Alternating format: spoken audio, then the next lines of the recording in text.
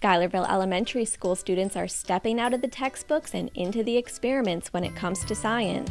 We're making bubbles. We're doing mock drills right now, and we're do- using marshmallows and popsicle sticks. This year, the district created a science classroom where students receive scientific instruction that meets all new state standards.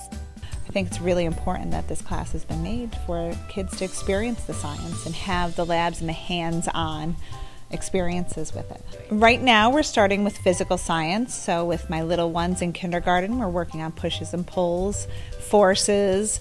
With the older grades, we've learned about atoms and molecules. Normally, we'd be sitting at our desks, just they'd be talking to us like, you know this, you should know this. And it's like, here we get to do crafts and we can do stuff that's fun and also learn things. You get to experience something that you don't know and that and that you've never learned.